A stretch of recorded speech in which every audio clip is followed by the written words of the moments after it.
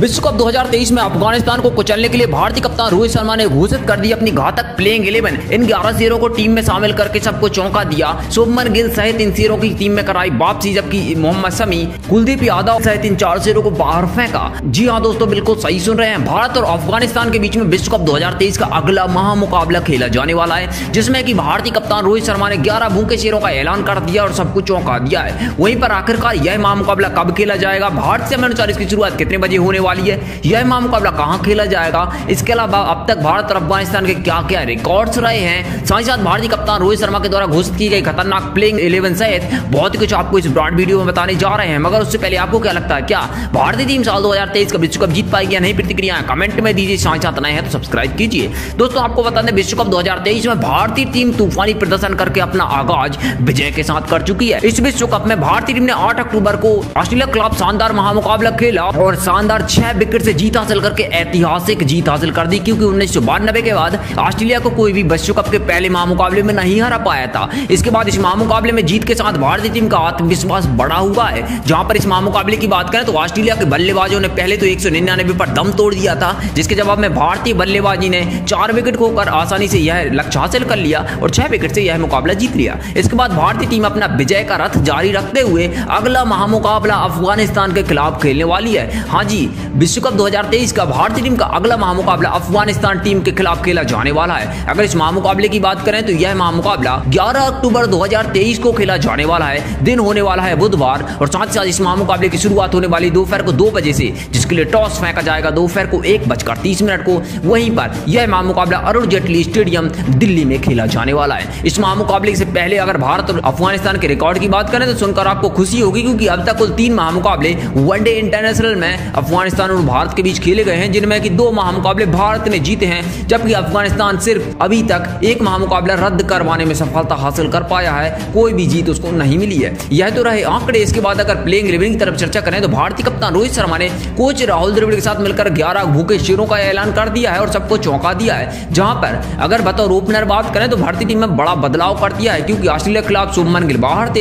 इस महामुकाबले में चोटेल होने के कारण हुआ है, अब वापसी कर चुके हैं और ईशान किशन को बाहर कर दिया गया है। जहाँ पर बतौर ओपनर रोहित शर्मा और शुभमन गिल खेलते हुए दिखाई देने वाले हैं। जहाँ पर रोहित शर्मा की बात करें तो साल 2023 में इन्होंने तूफ़ान लाकर रख दिया है, क्योंकि पिछले महामुकाबले में यह ज़ीरो पर आउट हो गए, मगर उससे पहले ऑस्ट्रेलिया के खिलाफ तीसरे वनडे महामुकाबले में उन्होंने शानदार प्रदर्शन किया था। और इक्यासी रन की जो तूफानी पारी खेली थी, इनका घातक प्रदर्शन आपको दिखाई दे गया था। वनडे इंटरनेशनल के सबसे घातक बल्लेबाज है, क्यूँकी सबसे ज़्यादा दोहरा शतक यह लगा चुके हैं। साल दो हज़ार उन्नीस विश्व कप में सबसे ज़्यादा शतक लगाने का वर्ल्ड रिकॉर्ड इन्होंने अपने नाम किया। तो ऐसे में अगले महामुकाबले में अफ़गानिस्तान को इनके तूफ़ान से सतर्क रहना होगा। दूसरे स्थान पर शुभमन गिल की बात करें तो शुभमन गिल बेहद शानदार खिलाड़ी है और अपने तूफ़ान से किसी को भी चकना चूर कर सकते हैं। अपने शानदार प्रदर्शन के कारण यह साल 2023 में सबसे ज़्यादा सफल बल्लेबाज माने जा रहे हैं। आईपीएल में इन्होंने सबसे ज़्यादा रन बनाकर ऑरेंज कैप अपने नाम किया था। इसके अलावा हालिया प्रदर्शन की बात की जाए तीन मैचों की वनडे श्रृंखला के एक वनडे महामुकाबले में इन्होंने ऑस्ट्रेलिया के खिलाफ शतक भी ठोका था तो इनके प्रदर्शन को सही आंका जा रहा है। तीसरे स्थान पर आपको पिछले महामुकाबले के सबसे बड़े हीरो साबित रहे विराट कोहली खेलते हुए दिखाई देने वाले हैं जिन्हें पिछले मुकाबले में ऑस्ट्रेलिया खिलाफ पचासी रन की जो पारी खेली थी, वह भारतीय टीम की वापसी करा गई और भारतीय टीम को जीत हासिल हुई थी। ऐसे में अब अगले मुकाबले में अफ़गानिस्तान जैसी छोटी टीम के खिलाफ भारतीय पूर्व कप्तान विराट कोहली अपना खतरनाक रुख अपनाएँगे और इसको चकनाचूर करने में कोई कसर नहीं रखेंगे। वहीं पर चौथे स्थान पर आपको सीरिया सैयर का तूफ़ान दिखाई देने वाला है। सीरिया सैयर वह घातक खिलाड़ी है जिन्होंने हालिया प्रदर्शन में कसर नहीं रखी है। भले ही पिछले मुकाबले में बिना खाता खोले लौट गए थे, मगर उससे पहले तीन मैचों की वनडे श्रृंखला में ऑस्ट्रेलिया क्लब दूसरे वनडे में शतक लगाया। उससे पहले एशिया कप में भी कुछ अच्छे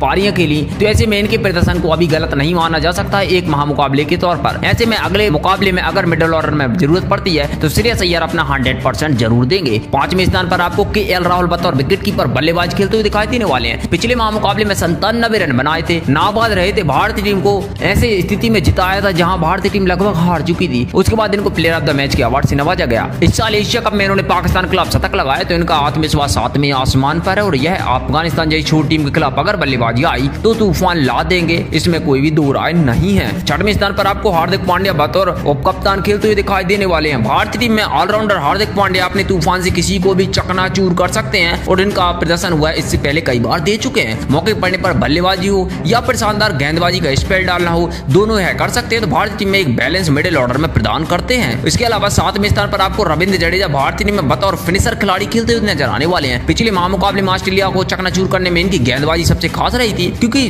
टॉप ऑर्डर के तीन विकेट चटकाना बहुत बड़ी बात होती है। यह रविंद्र जडेजा कर चुके हैं और मौके पड़ने पर बल्लेबाजी में भी भारतीय टीम को जीत दिला ही देते हैं। वहीं पर आठवें स्थान पर रविचंद्रन अश्विन खेलते हुए दिखाई देने वाले हैं और इस महामुकाबले में रविचंद्रन अश्विन अपना हंड्रेड परसेंट देंगे, क्योंकि यह महामुकाबला अरुण जेटली स्टेडियम में खेला जाने वाला है और भारतीय टीम में अनुभवी रविचंद्रन अश्विन को अभी कुलदीप यादव अच्छी खासी टक्कर दे रहे हैं। अगर अश्विन अच्छा प्रदर्शन नहीं करते तो आने वाले महामुकाबलों में कुलदीप यादव भारतीय टीम में जगह बना लेंगे। इसलिए अभी अश्विन को प्रदर्शन करना होगा। नौवे, दसवें, ग्यारहवें स्थान पर तीन घातक तेज गेंदबाज खेलते हुए दिखाई देने वाले हैं, जहाँ पिछले महामुकाबले में दो विकेट लेने वाले कुलदीप यादव को बाहर कर दिया गया है, जबकि नौवे स्थान पर आपको मोहम्मद समी खेलते हुए दिखाई देने वाले हैं। मोहम्मद समी बेहद ही शानदार खिलाड़ी और अपनी तूफानी अंदाज की गेंदबाजी से सभी को चकनाचूर कर सकते हैं। आपको बता दें, साल 2019 में अफ़गानिस्तान के खिलाफ इन्होंने हैट्रिक लगाई थी वर्ल्ड कप में तो ऐसे में यह फिर से दोबारा कारनामा कर सकते हैं और अफ़गानिस्तान को इनसे सतर्क रहना ही होगा। दसवें स्थान पर आपको मोहम्मद सिराज खेलते हुए दिखाई देने वाले हैं, जहाँ पर Mohammed Siraj ICC one day ranking में मौजूदा समय में दुनिया के नंबर वन गेंदबाज है। पिछले महामुकाबले में उन्होंने